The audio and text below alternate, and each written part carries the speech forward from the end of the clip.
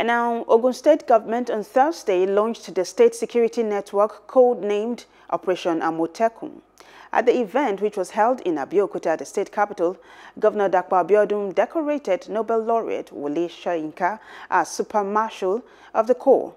The governor also commissioned scores of patrol vans and motorcycles to aid the operations of the Amotekun Corps. The security outfit was established by the Ogun State Security Network Agency and Amotekun Corps Law 2020 and was signed into law by Governor Abiodun on the 24th of March 2020.